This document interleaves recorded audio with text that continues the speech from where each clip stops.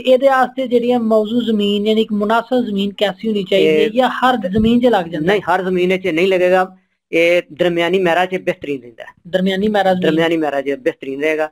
ਔਰ ਲਗਾਉਣ ਨੂੰ ਤੇ ਦੂਸਰੀ 'ਚ ਵੀ ਲਗਾ ਲਓ ਤੁਸੀਂ ਲੇਕਿਨ ਉਹਦੇ 'ਚ ਇੰਨੀ ਪੈਦਾਵਾਰ ਨਹੀਂ। ਪੈਦਾਵਾਰ ਮੁਤਾਸਰ ਹੋਏਗੀ। ਪੈਦਾਵਾਰ ਜਿਹੜੀ ਥੋੜੀ ਰਹੇਗੀ। ਠੀਕ। ਫੁੱਲ ਜਿਹੜੇ ਨੇ ਉਹ ਵੀ ਕਿਰਦੇ ਨੇ ਸੁਣਜਾ ਜਾਂ। ਫੁੱਲ ਨਹੀਂ। ਜਲਦੀ ਲੱਗਣ ਇਹਦੇ ਵਾਸਤੇ ਕੋਈ ਦੁਆ ਨਹੀਂ ਨਹੀਂ ਵਗੈਰਾ ਉਹ ਫੁੱਲ ਜਿਹੜੇ ਕਿਰਦੇ ਨੇ ਨਾ ਉਹ ਨਰ ਫੁੱਲ ਹੁੰਦੇ ਨੇ।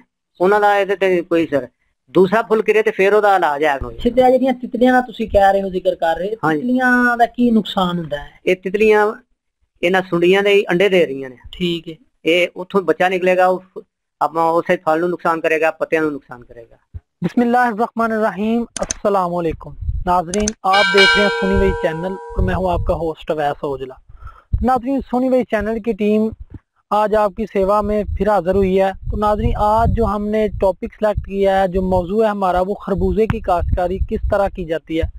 خربوزے کے متعلق کیا کیا انفارمیشن ہے؟ ماشاءاللہ، ایک چاچو ہیں، ان کے پاس آئے ہیں۔ ان کی آلریڈی ایک دو ویڈیو ہم اپلوڈ کر چکے ہیں۔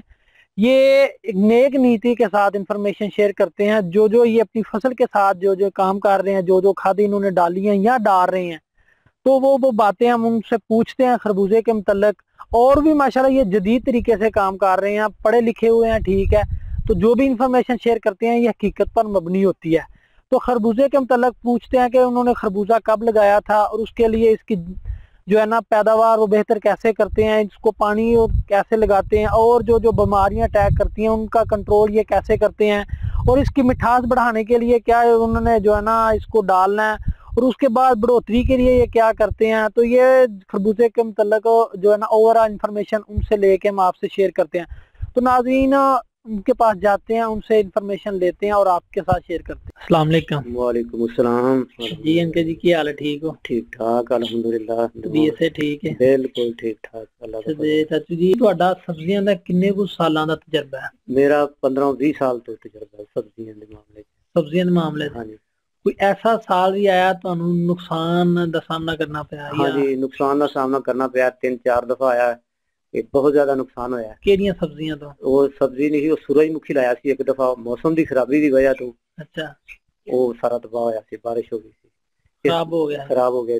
ਫਿਰ ਖਰਬੂਜ਼ੇ ਦਾ ਅਟੈਕ ਹੋਇਆ ਸੀ ਬਿਮਾਰੀ ਦਾ। ਠੀਕ ਕਿਹੜੀ ਦਾ? ਇਹ ਕੋੜ ਦੀ ਬਿਮਾਰੀ ਉਹਨੂੰ ਆਂਦੇ ਨੇ ਬਰੋਤਰੀ ਰੋਕ ਜਾਂਦੀ ਹੈ। ਠੀਕ ਹੈ।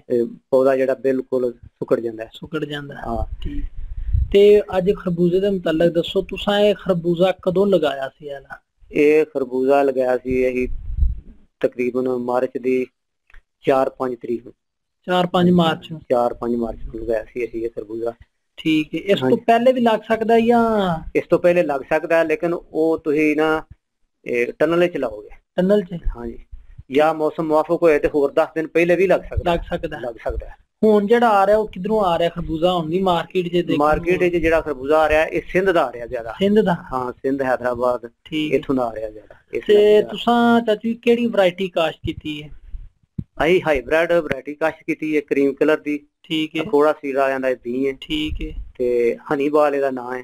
ਕੁਆਲਿਟੀ ਦਾ ਨਾਮ ਹੈ ਤੇ ਬਹੁਤ ਮਿੱਠਾ ਹੁੰਦਾ ਹੈ।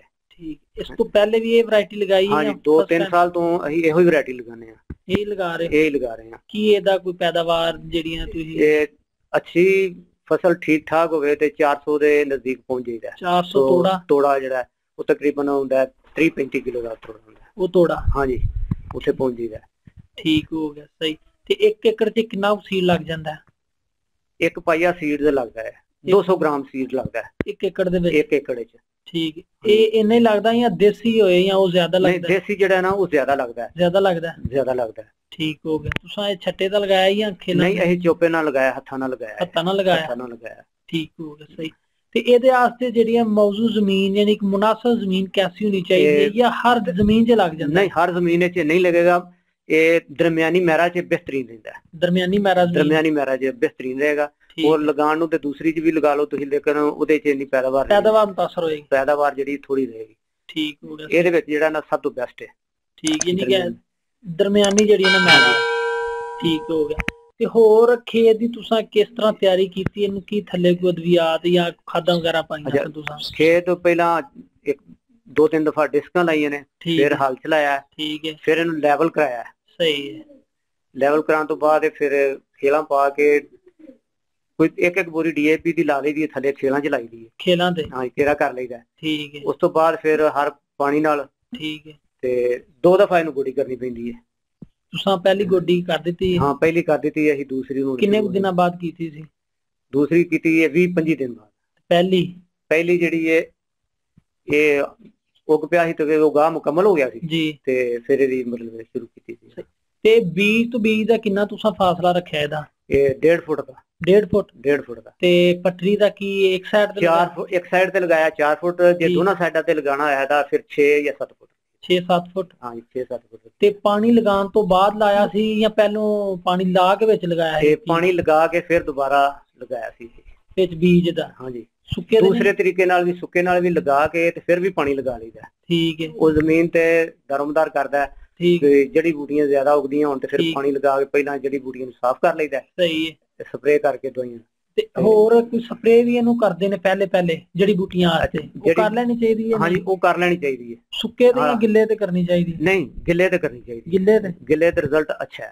ਉਹ ਕਦੋਂ ਕਰਨੀ ਚਾਹੀਦੀ ਹੈ? ਅਗਾਓ ਤੋਂ ਪਹਿਲੇ? ਉਹ ਦੋ ਤਿੰਨ ਕਿਸਮ ਦੀਆਂ ਦਵਾਈਆਂ ਨੇ। ਠੀਕ ਹੈ। ਜੇ ਤੇ ਤੁਸੀਂ ਇੱਕ ਉਗਾ ਤੋਂ ਪਹਿਲਾਂ ਕਰਨੀਆਂ ਨੇ ਸਹੀ ਹੈ। ਤੇ ਉਹ ਉਹ ਵੀ ਬਿਹਤਰ ਹੈ ਤੇ ਦੂਸਰੀ ਇੱਕ ਉਗਾ ਤੋਂ ਬਾਅਦ ਕਰੀ ਠੀਕ ਹੈ। ਉਹ ਵੀ ਠੀਕ ਹੈ। ਦੋਵੇਂ ਨੇ। ਉਹ ਨਾ ਜੜੀ ਬੂਟੀਆਂ ਦੇ ਧਰਮਦਾਰ ਸਾਰਾ ਕਿਸ ਕਿਸਮ ਦੀਆਂ ਜੜੀ ਬੂਟੀਆਂ ਨੇ ਫਿਰ ਉਸ ਹਿਸਾਬ ਨਾਲ ਚੱਲੀ ਤੇ ਬੀਜ ਨੂੰ ਦਵਾਈ ਲਗਾਈ ਦੀ ਹੈ। ਬੀਜ ਨੂੰ ਲੱਗੀ ਹੁੰਦੀ ਹੈ ਤੁਸੀਂ ਲਗਾਉਂਦੇ ਨਹੀਂ ਉਹਨਾਂ ਦੀ ਲੱਗੀ ਤੇ ਅਸੀਂ ਨਹੀਂ ਇਨਸਾਰ ਕਰਦੇ ਅਸੀਂ ਖੁਦ ਦਵਾਈ ਲਾਉਂਦੇ ਆ ਕਿਹੜੀ ਦਵਾਈ ਲਗਾ ਰਹੇ ਹੋ? ਇਹ ਅਮੀਟਾ ਕਲਾਪੜ ਬੀਜ ਨੂੰ ਲਗਾਉਣ ਵਾਲੀ ਦਵਾਈ ਹੁੰਦੀ ਹੈ। ਬੀਜ ਨੂੰ ਲਗਾਉਣਾ ਹਾਂਜੀ। ਉਹ ਕਿਉਂ ਲਗਾਈ ਜਾਂਦੀ ਬੀਜ? ਉਹ ਬੀਜ ਨੂੰ ਸੁੰਡੀ ਘੱਟ ਲੱਗਦੀ ਹੈ ਫਿਰ ਜਦੋਂ ਵੱਡੀ ਹੋ ਜਾਂਦੀ ਠੀਕ ਹੈ ਉਹਦਾ ਥੋੜਾ ਜਿਹਾ ਨਿਕਲਦਾ ਫਿਰ ਲਾਲ ਭੂੰਡੀ ਬਹੁਤ ਘੱਟ ਹੁੰਦੀ ਹੈ ਹੁਣ ਵੇਖਣ ਚ ਲਾਲ ਭੁੰਡੀ ਥੋੜੀ ਜੀ ਜਿਹੜੀ ਹੈ ਨਾ ਪਈ ਹੈ ਹਾਂਜੀ ਇਹ ਜਦੋਂ 10 15 ਦਿਨ ਲੰਘ ਜਾਣਗੇ ਫਿਰ ਕਿੰਨੇ ਲਾ- ਦਿਨ ਹੋ ਗਏ ਨੇ ਯਾਨੀ ਕਿ ਫਸਲ ਤੁਹਾਡੀ ਨੂੰ ਲੱਗੀ ਨੂੰ?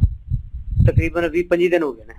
ਪੰਜੇ ਦਿਨ। ਹਾਂਜੀ। ਠੀਕ। ਹੁਣ ਲਾਲ ਭੂੰਡੀ ਦੁਬਾਰਾ ਇਸ ਵਾਸਤੇ ਆਈ ਕਿ ਦਵਾਈ ਦਾ ਅਸਰ ਜ਼ਾਇਲ ਹੋ ਗਿਆ। ਠੀਕ ਹੈ, ਖਤਮ ਹੋ ਗਿਆ ਯਾਨੀ ਖਤਮ ਹੋ ਗਿਆ। ਸਹੀ ਹੈ ਠੀਕ ਹੈ ਤੇ ਹੋਰ ਹੋਰ ਇਸ ਲੈਵਲ ਤੇ ਜਿਹੜੇ ਸਟੇਜ ਤੇ ਤੁਹਾਡੀ ਫਸਲ ਹਾਂਜੀ। ਕਿਹੜੀ ਬਿਮਾਰੀ ਹੋਰ ਇਹਨੂੰ ਲੱਗ ਸਕਦੀ ਹੈ? ਪੌਦੇ ਵੇਖਣ ਚ ਆ ਜਿਹੜੇ ਨਾ ਹਾਂਜੀ।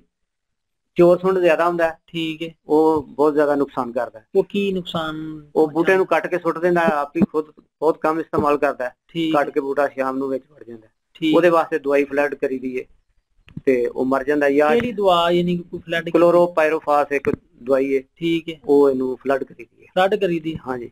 ਠੀਕ ਹੋ ਗਿਆ ਸਹੀ। ਤੇ ਥ੍ਰਿਪਸ ਵਾਸਤੇ ਜਾਂ ਹੋਰ ਇਹਦੇ ਵਾਸਤੇ ਆ ਥ੍ਰਿਪਸ ਸਟੇਜ ਤੇ ਕਿਹੜੀ ਤੁਸੀਂ ਕਰਦੇ ਹੋ ਪਏ ਇਸ ਵਾਸਤੇ ਦੋ ਤਿੰਨ ਦਵਾਈਆਂ ਹਰ ਕੰਪਨੀ ਦੇ ਲੈਦਾ ਲੈਦਾ ਦਵਾਈ ਹੈ ਉਹ। ਇਸਤੇਮਾਲ ਕਰੀ ਦੀਆਂ।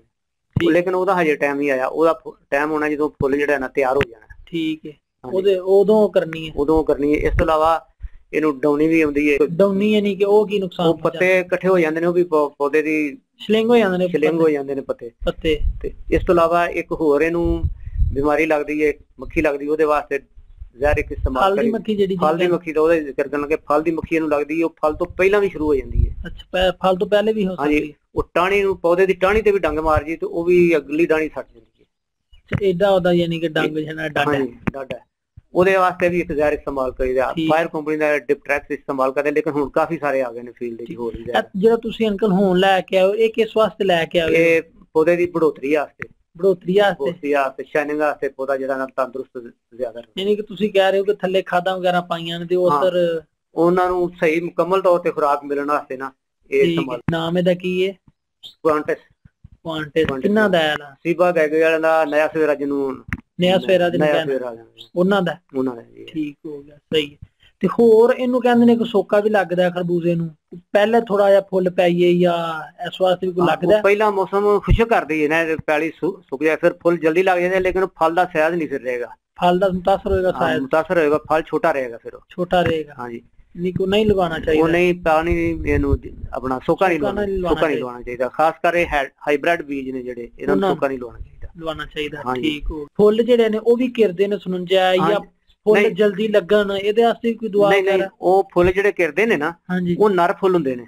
ਉਹਨਾਂ ਦਾ ਇਹਦੇ ਤੇ ਕੋਈ ਸਰ ਦੂਸਰਾ ਫੁੱਲ ਕਿਰੇ ਤੇ ਫਿਰ ਉਹਦਾ ਇਲਾਜ ਹੈ ਫਿਰ ਉਹਦੇ ਚ ਬੁਰਾਨ ਦੀ ਕਮੀ ਹੁੰਦੀ ਹੈ। ਬੁਰਾਨ ਦੀ ਕਮੀ ਹੁੰਦੀ ਬੁਰਾਨ ਦੀ ਕਮੀ ਹੁੰਦੀ ਉਹ ਫਿਰ ਇਸਤੇਮਾਲ ਕਰੀਦਾ। ਠੀਕ ਹੈ। ਉਹ ਬਿਹਤਰ ਇਹ ਹੈ ਕਿ ਪਹਿਲਾਂ ਇਸਤੇਮਾਲ ਕਰ ਲਓ। ਥੱਲੇ ਹੀ? ਥੱਲੇ ਇਸਤੇਮਾਲ ਕਰ ਲਓ ਜਾਂ ਦੂਸਰੀ ਸਟੇਜ ਤੇ ਆਏ ਜਦੋਂ ਠੀਕ ਹੈ। 20 25 ਦਿਨ ਦਾ ਪੌਦਾ ਹੋ ਜਾਏ ਫੁੱਲ ਸ਼ੁਰੂ ਹੋਣ ਉਦੋਂ ਇਸਤੇਮਾਲ ਕਰ ਲਓ। ਉਦੋਂ ਇਸਤੇਮਾਲ ਉਦੋਂ ਕਰ ਇਸਤੇਮਾਲ ਕਰ ਲਓ। ਹੋਰ ਆਪਾਸ਼ੀ ਕਦੋਂ ਕਰਨੀ ਚਾਹੀਦੀ ਹੈ? ਫਸਟ ਟਾਈਮ ਜਾਂ ਸੈਕੰਡ ਟਾਈਮ ਮੌਸਮ ਦੇ ਹਿਸਾਬ ਨਾਲ ਮੌਸਮ ਦਾ ਹਿਸਾਬ ਕਿਤਾਬ ਵੇਖ ਕੇ ਜ਼ਿਆਦਾ। ਗਰਮੀ ਹੋਵੇ ਤੇ ਜਲਦੀ ਕਰ ਦਿਓ ਜੇ ਠੀਕ। ਬਾਰਿਸ਼ ਵਿੱਚ ਹੋ ਗਈ ਹੈ ਫਿਰ ਉਹ ਉਸ ਹਿਸਾਬ ਨਾਲ ਅੱਛਾ ਟਾਈਮ ਆਂਦੇ ਨੇ ਜਾਂ ਪਿਛਲੇ ਟਾਈਮ ਕਰੋ ਜਾਂ ਸਵੇਰ ਸਵੇਰ ਕਰੋ? ਹਾਂਜੀ ਪਿਛਲੇ ਟਾਈਮ ਜਿਹੜਾ ਨਾ ਉਹ ਬੈਸਟ ਹੈ ਬੈਸਟ ਹੈ ਹਾਂਜੀ ਦਿਨ ਵਿੱਚ ਜਿਹੜਾ ਹੈ ਨਾ ਇੰਨਾ ਬੈਸਟ ਨਹੀਂ ਗਰਮੀ ਜਿਵੇਂ ਜ਼ਿਆਦਾ। 12 ਇੱਕ ਦਾ ਟਾਈਮ ਉਦੋਂ। ਨੁਕਸਾਨ ਆਂਦੇ ਨੇ ਹੁੰਦਾ ਨਹੀਂ ਉਦੋਂ ਨੁਕਸਾਨ ਹੋਏਗਾ। ਉਹ ਪਾਣੀ ਗਰਮ ਹੋ ਜਾਂਦਾ ਦਰਜਾ ਰਾਤ ਜ਼ਿਆਦਾ ਹੁੰਦਾ ਉਹਦੇ ਨਾਲ ਉਹ ਜੜ ਜਿਹੜੀ ਹੈ ਨਾ ਉਹ ਨੁਕਸਾਨ ਹੋ ਸਕਦਾ। ਨੁਕਸਾਨ ਨੁਕਸਾਨ। ਸਕ ਜਿਹੜੀ ਗੱਲ ਸਕਦੀ ਹੈ ਦਵਾਈਆਂ ਜਿਹੜੀਆਂ ਸੁੰਡੀਆਂ ਵਾਸਤੇ ਨੇ ਉਹ ਵੀ 3 ਵਜੇ ਤੋਂ ਬਾਅਦ ਇਸਤੇਮਾਲ ਕਰੋ ਦਵਾਈ। ਸੁੰਡੀਆਂ ਵਾਸਤੇ? ਸੁੰਡੀਆਂ ਵਾਸਤੇ ਵੀ ਜਾਂ ਦੂਸਰੀ ਡਾਉਨੀ ਸ਼ੌਨੀ ਜਾਂ ਖੂਨ ਦੀ ਕੋਈ ਇਸਤੇਮਾਲ ਨੇ ਜਿਹੜੀਆਂ ਹਾਂਜੀ। ਉਹ ਵੀ ਪਿਛਲੇ ਟਾਈਮ ਤਿੰਨ ਤੋਂ ਪਿਛਲੇ ਬਾਅਦ। ਹਾਂਜੀ। ਠੀਕ। ਤੇ ਇਹਦੀ ਮਿਠਾਸ ਵਾਸਤੇ ਕੀ ਇਸਤੇਮਾਲ ਕਰਨਾ ਚਾਹੀਦਾ? ਮਿਠਾਸ ਵਾਸਤੇ ਤੁਹਾਨੂੰ ਅੱਗੇ ਜ਼ਿਕਰ ਕੀਤਾ ਹੈ ਕਿ ਪੋਟਾਸ਼ ਇਸਤੇਮਾਲ ਕਰੋ। ਪੋਟਾਸ਼ ਕਰਨੀ ਚਾਹੀਦੀ? ਪੋਟਾਸ਼ ਇਸਤੇਮਾਲ ਕਰਨੀ ਚਾਹੀਦੀ। ਉਹ ਕਿਸ ਤਰ੍ਹਾਂ ਫਲੱਡ ਕਰਨੀ ਹੈ ਸਪਰੇ ਉਹ ਕਰਨੀ ਦੋਨੋਂ ਹੈ? ਤਰੀਕੇ ਨਾਲ ਤੁਹਾਨੂੰ ਮਿਲ ਜਾਏਗੀ। ਫਲੱਡ ਕਰਨ ਵਾਸਤੇ ਵੀ ਮਿਲ ਜਾਏਗੀ। ਠੀਕ ਹੈ। ਸਪਰੇਅ ਵਾਸਤੇ ਵੀ ਮਿਲ ਜਾਏਗੀ। ਦੋਵਾਂ ਦੋਵੇਂ ਮਿਲ ਜਾਂਦੀਆਂ। ਦੋਨੋਂ ਤਰੀਕਿਆਂ ਤੋਂ ਮਿਲ ਜਾਣਗੀਆਂ ਆ ਜਿਹੜੀ ਇਹ ਨਾ ਆਪਣਾ ਸਪਰੇਅ ਕਰਨ ਵਾਸਤੇ ਉਹ 2-3 ਕਿਲੋ ਕਾਫੀ ਹੁੰਦੀ ਹੈ। ਠੀਕ ਹੈ। ਤੇ ਦੂਸਰੀ ਸੂਰਤ ਜੇ ਫਲੱਡ ਕਰਨੀ ਹੈ ਹੈ। ਉਹ ਤੁਹਾਨੂੰ 8 ਕਿਲੋ 10 ਕਿਲੋ ਜਿਹੜੀ ਹੈ ਫੀ ਏਕੜ ਦੇ ਹਿਸਾਬ ਨਾਲ ਇਸਤੇਮਾਲ ਕਰਨੀ ਠੀਕ ਉਹ ਯਾਨੀ ਕਿ ਫਲੱਡ ਕਰਨਾ ਹਾਂਜੀ ਉਹ ਫਲੱਡ ਕਰਨ ਵਾਸਤੇ। ਠੀਕ। ਹੋਰ ਇਹਦਾ ਕੋਈ ਜਿਹੜਾ ਨਾ ਕੋਈ ਬਿਮਾਰੀ ਅਹਿਮ ਜਿਹੜੀ ਫਰੂਟ ਦੇ ਜਿਹੜਾ ਨਾ ਕੋਈ ਮੁਤਾਸਰ ਕਰੇ ਜਾਂ ਫਰੂਟ ਤੇ ਸਿਰਫ ਆਪਣਾ ਫਰੂਟ ਫਲਾਈ ਨੁਕਸਾਨ ਕਰੇਗੀ ਹੋਰ ਕੋਈ ਚੀਜ਼ ਨਹੀਂ ਨੁਕਸਾਨ ਕਰੇਗੀ। ਫਰੂਟ ਫਲਾਈ ਕਰੇਗੀ। fly ਕੀ ਦਾ- ਫਰੂਟ ਦੇ ਉੱਤੇ ਡੰਗ ਮਾਰ ਜਾਂਦੀ ਹੈ ਪਹਿਲੇ ਹੀ। ਠੀਕ ਹੈ। ਤੇ ਉਹ ਬਾਅਦ ਵਿੱਚ ਪਤਾ ਲੱਗਦਾ ਕਿ ਫਰੂਟ ਫਲਾਈ ਦਾ ਹਮਲਾ ਹੋ ਚੁੱਕਿਆ। ਜਦੋਂ ਪਤਾ ਲੱਗਦਾ ਉਦੋਂ ਉਸ ਨਾਲ ਬਿਹਤਰ ਇਹ ਹੀ ਹੈ ਕਿ ਫਰੂਟ ਫਲਾਈ ਦੀ ਇਸਤੇਮਾਲ ਸ਼ੁਰੂ ਕਰ ਦਿਓ ਪਹਿਲਾਂ ਹੀ। ਪਹਿਲੇ ਉਹ ਪਹਿਲਾਂ ਹੀ ਕਰਦੇ ਹਾਂ ਨਹੀਂ ਪਹਿਲਾਂ ਹੀ। ਬਾਅਦ ਵਿੱਚ ਉਹਨੇ ਡੰਗ ਮਾਰ ਜਾਣਾ ਫਿਰ ਉਹਦਾ ਕੋਈ ਹੱਲ ਨਹੀਂ। ਕਿਉਂਕਿ ਜਿਹੜਾ ਇਹਨੇ ਡੰਗ ਮਾਰ ਕੇ ਅੰਡਾ ਦੇਣਾ ਉਹ ਫਲ ਦੇ ਅੰਦਰ ਹੋਣਾ। ਫਿਰ ਉੱਥੋਂ ਤੱਕ ਦਵਾਈ ਨਹੀਂ ਪਹੁੰਚਣੀ। ਠੀਕ ਉਹ ਫਿਰ ਪਹਿਲਾਂ ਹੀ ਨੁਕਸਾਨ ਹੋ ਜਾਏਗਾ ਸਿੱਧਾ ਜਿਹੜੀਆਂ ਤਿਤਲੀਆਂ ਦਾ ਤੁਸੀਂ ਕਹਿ ਰਹੇ ਹੋ ਜ਼ਿਕਰ ਕਰ ਰਹੇ। ਤਿਤਲੀਆਂ ਦਾ ਕੀ ਨੁਕਸਾਨ ਹੁੰਦਾ ਹੈ? ਇਹ ਤਿਤਲੀਆਂ ਇਹਨਾਂ ਸੁੰਡੀਆਂ ਦੇ ਅੰਡੇ ਦੇ ਰਹੀਆਂ ਨੇ। ਠੀਕ ਹੈ। ਇਹ ਉੱਥੋਂ ਬੱਚਾ ਨਿਕਲੇਗਾ ਉਹ ਆਪਾਂ ਉਸੇ ਫਲ ਨੂੰ ਨੁਕਸਾਨ ਕਰੇਗਾ ਪੱਤਿਆਂ ਨੂੰ ਨੁਕਸਾਨ ਕਰੇਗਾ। ਠੀਕ ਯਾਨੀ ਕਿ ਕਿਸਾਨ ਦੋਸਤ ਨਹੀਂ ਹੈ। ਹਾਂ ਨਾ ਇਹ ਕਿਸਾਨ ਦੋਸਤ ਨਹੀਂ ਹੈ। ਕਿਸਾਨ ਦੋਸਤ ਹੋਰ ਹੈ ਨੇ ਕੀੜੇ ਵਿੱਚ ਠੀਕ ਹੈ। ਸ਼ਾਮਲ ਹੁੰਦੇ ਨੇ। ਸਹੀ ਹੈ। ਉਹ ਲੇਕਿਨ ਉਹ ਦਵਾਈਆਂ ਅੱਛੀ ਕੰਪਨੀ ਦੀਆਂ ਦਵਾਈਆਂ ਨਾਲ ਕਿਸਾਨ ਦੋਸਤ ਕੀੜਿਆਂ ਨੂੰ ਨਹੀਂ ਮਾਰਦੀ। ਮਾਰਦੀਆਂ ਨਹੀਂ ਹੈ। ਨਹੀਂ ਉਹ ਨਹੀਂ ਮਾਰਦੀਆਂ। ਠੀਕ ਹੋ ਗਿਆ। ਤੇ ਤੁਹਾਨੂੰ ਪਿਛਲੇ ਸਾਲ ਤੁਸੀਂ ਕਿੰਨਾ ਹੋਵੇ ਤੇ ਤੋਂ ਕਮਾ ਲਿਆ ਸੀ? ਕੋਈ ਹੋਏ ਤੇ ਤੁਹਾਨੂੰ ਮੋਟਾ ਮੋਟਾ ਪਿਛਲੇ ਸਾਲ ਅਖਰਾਜਾਤ ਨਿਕਾਲ ਕੇ ਤੇ ਹੀ ਇਹਦਾ ਮਤਲਬ ਇਹ ਲੱਖ ਲੱਖ ਰੁਪਈਆ ਬਣੀ ਜਾਂਦਾ ਲੱਖ ਰੁਪਏ ਬਣ ਗਿਆ। ਲੱਖ ਰੁਪਈਆ ਬਣ ਗਿਆ। ਤੇ ਹੋਰ ਕੀ ਤੁਸੀਂ ਜਿਹੜਾ ਨਾ ਅਹਿਮ ਸਮਝੋਗੇ ਜਿੰਨਾ ਖਰਬੂਜ਼ੇ ਦੀ ਕਾਸ਼ਤਕਾਰੀ ਕੀਤੀ ਕਿਹੜੀ ਗੱਲ ਦਾ ਧਿਆਨ ਰੱਖਣ? ਇਹ ਖੇਤ ਜਿਹੜਾ ਨਾ ਪੈਲੀ ਜਿਹੜੀ ਉਹਨੂੰ ਬੜੀ ਅੱਛੀ ਤਰ੍ਹਾਂ ਤਿਆਰ ਕਰਨਾ। ਠੀਕ ਜਿੰਨੀ ਪੈਲੀ ਖੁਸ਼ਕ ਹੋਏਗੀ ਉਹਨਾਂ ਰਿਜ਼ਲਟ ਅੱਛਾ ਹੋਏਗਾ ਉਹਨਾਂ ਮਿੱਠਾ ਵੀ ਜ਼ਿਆਦਾ ਮਿਠਾਸ ਵੀ ਜ਼ਿਆਦਾ ਹੋਏਗੀ ਠੀਕ ਹੈ ਤੇ ਉਨੀਆਂ ਬਿਮਾਰੀਆਂ ਵੀ ਘੱਟ ਹੋਣਗੀਆਂ ਇਹ ਆਖਰੀ ਗੱਲ ਹੈ ਇਹ। ਹਾਂਜੀ। ਠੀਕ ਹੋ ਗਿਆ ਹੋਰ ਚਾਚੂ ਜੀ ਇਹ ਸਬਜ਼ੀਆਂ ਦੇ ਕਾਰੋਬਾਰ ਕਰਨੇ ਚਾਹੀਦੇ ਨੇ ਜਾਂ ਨਹੀਂ ਕਰਨੇ ਚਾਹੀਦੇ ਨਹੀਂ। ਕਰਨੇ ਚਾਹੀਦੇ ਨੇ ਪਾਕਿਸਤਾਨ ਦੇ ਵਿੱਚ ਅਸੀਂ ਪਾਕਿਸਤਾਨੀ ਆ ਸਾਨੂੰ ਆਪਣਾ ਸਬਜ਼ੀਆਂ ਉਗਾਉਣੀਆਂ ਚਾਹੀਦੀਆਂ ਨੇ ਪਾਕਿਸਤਾਨ ਦੀ ਜ਼ਰੂਰਤ ਪੂਰੀ ਕਰਨੀ ਚਾਹੀਦੀ ਹੈ। ਜੀ ਜੀ। ਤੇ ਜ਼ਰੂਰ ਲਗਾਉਣੀਆਂ ਚਾਹੀਦੀਆਂ। ਲਗਾਉਣੀਆਂ ਚਾਹੀਦੀਆਂ। ਲਗਾਉਣੀਆਂ ਚਾਹੇ ਚਾਹੀਦੀਆਂ। ਯਾਨੀ ਕਿ ਥੋੜੇ ਪੈਮਾਨੇ ਤੋਂ ਸਟਾਰਟ ਬੰਦਾ ਕਰ ਲਵੇ। ਹਾਂਜੀ ਥੋੜੇ ਥੋੜ੍ਹਾ- ਕਰੋ ਬਹੁਤ ਕਰੋ ਲਗਾਣੀ ਜ਼ਰੂਰ ਚਾਹੀਦੀ ਹੈ। ਲਗਾਉਣੀ ਜ਼ਰੂਰ ਚਾਹੀਦੀ। ਆਪਣੇ ਘਰ ਦੀ ਜ਼ਰੂਰਤ ਵਾਸਤੇ ਲਾਜ਼ਮੀ ਲਗਾਓ। ਠੀਕ ਹੋ ਗਿਆ ਸਹੀ। ਤੇ ਬਹੁਤ ਮਿਹਰਬਾਨੀ ਬਹੁਤ ਜੀ। ਮਿਹਰਬਾਨੀ ਜੀ। ਸ਼ੁਕਰੀਆ। ਤੇ ਨਾਜ਼ਰੀਨ ਚਾਚੇਰਾਂ ਦੀ ਇਨਫੋਰਮੇਸ਼ਨ ਤੁਹਾਨੂੰ ਕੈਸੀ ਲੱਗੀ ਹੈ? ਠੀਕ ਲੱਗੀ ਹੈ? ਅਗਰ ਸਾਡੀ ਵੀਡੀਓ ਸਾਨੂੰ ਤੁਹਾਨੂੰ ਅੱਛੀ ਲੱਗੇ ਇਹਨੂੰ ਲਾਈਕ ਕਰੋ ਕਮੈਂਟ ਕਰੋ ਸ਼ੇਅਰ ਹਾਂ ਅਗਰ ਕੋਈ ਕੁਐਸਚਨ ਰਹਿ ਗਿਆ ਹੋਏ ਤੇ ਕਮੈਂਟ ਕਰਕੇ ਤੁਸੀਂ ਪੁੱਛ ਪੁੱਛ ਸਕਦੇ ਹੋ ਤੇ ਇਨਸ਼ਾਅੱਲਾ ਉਹਦਾ ਜ਼ਰੂਰ ਅਸੀਂ ਆਨਸਰ ਦਾਂਗੇ ਤੇ ਨਾਜ਼ਰੀਨ, ਇਸੇ ਦੇ ਨਾਲ ਸੁਣੀ ਵਈ ਚੈਨਲ ਦੀ ਟੀਮ ਨੂੰ ਦਿਓ ਇਜਾਜ਼ਤ। ਇਨਸ਼ਾਅੱਲਾ ਇੱਕ ਨਈ ਇਨਫੋਰਮੇਟਿਵ ਵੀਡੀਓ ਲੈ ਕੇ ਤੁਹਾਡੀ ਖਿਦਮਤ 'ਚ ਹਾਜ਼ਰ ਹੋਵਾਂਗੇ। ਅੱਲਾ ਹਾਫਿਜ਼।